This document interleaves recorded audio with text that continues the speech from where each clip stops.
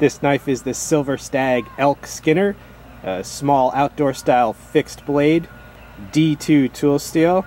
Uh, blade length is about four and a quarter inches, but the actual edge length is three and a quarter inches.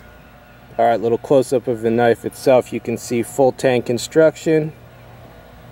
Very nice handle scales. Little bit of a slightly shallow hollow grind. Drop point tip. All right, let's uh, let's cut a few things with this just to see it in action. Okay, that is um, three three ply natural jute. You can get that for well, I got it for a dollar at the dollar store. And sorry for any noise in the background. There's a barking dog, there's a leaf blower, whatever. It's the suburbs, deal with it. All right, and this just dealt with the jute cord very easily. Let's do two strands of the jute. Yeah, this thing definitely goes through this jute cord. I don't know, how many strands of this jute can we do? Probably an infinite number, but the jute cord. Oh, oh, oh, it got caught in that, that little part. All right, there you go. Let's try some tougher stuff, some paracord.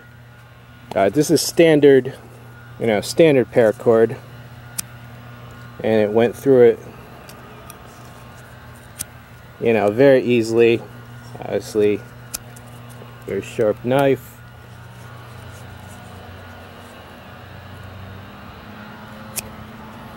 Yeah, all right. No, no problem with uh, no problem with paracord or other cordage. Well, hold on. I'm running out of paracord for all, from all the uh, the other reviews I've been doing. All right, there you go. All right, so no problem with cordage. Screw you, you leaf leaf blower bastard.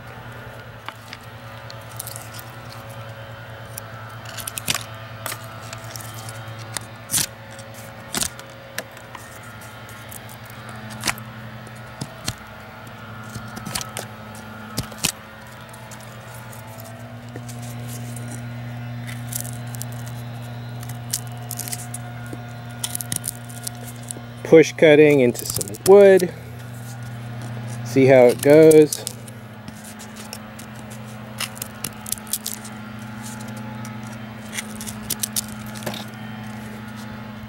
All right, and I'm sure you're thinking, but can it baton? I don't know if I would baton with a, you know, a real small knife, but hold on. Yes, it can baton.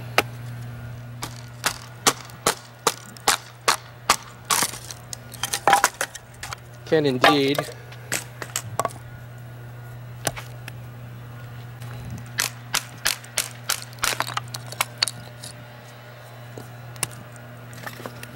All right, and as far as uh, you know, the urban jungle usage, can it can it cut cardboard? Actually, the cardboard is very easy for it. Uh, you know, a lot better than uh, than some box cutters tape there. Uh, but yeah, um, doing very well against the cardboard. Alright, just, you know, making some basically wood shavings here. Let's see how the tip holds up.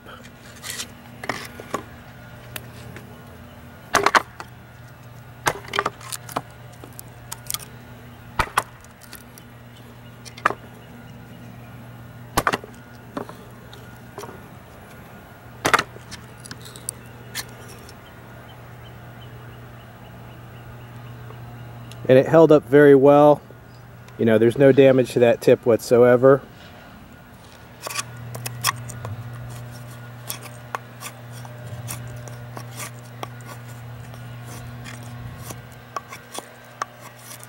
Alright, you see it's making shavings right there.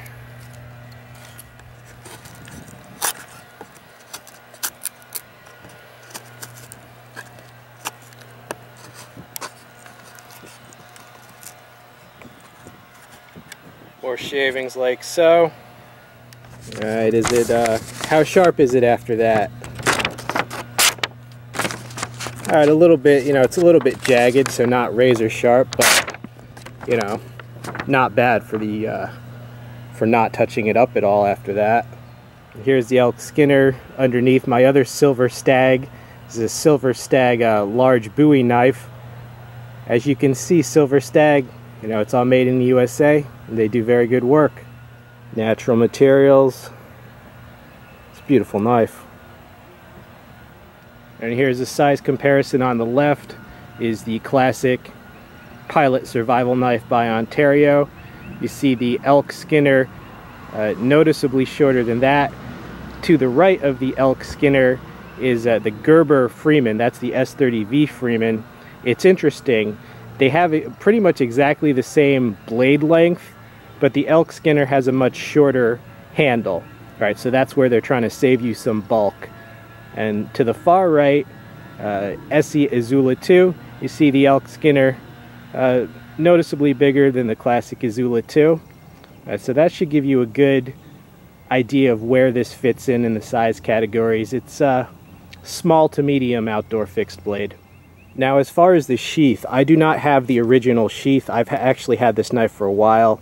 I don't even know where the sheath went, but I've just been using uh, this extra sheath that I had.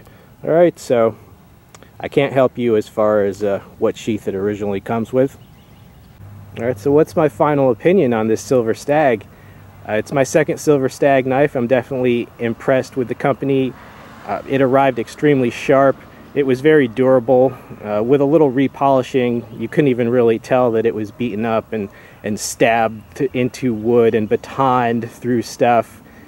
Uh, the handle material, natural and beautiful. Full tang construction, obviously desirable, made in the USA. Uh, what's not to like? I think it would be very handy. They call it a Skinner. You know, it's really just a general purpose uh, outdoor medium small utility blade. All right, it's it's not only for skinning. Overall, I just think it's a great little outdoor knife. Hope you enjoyed the video. Stay tuned for more. I'm out.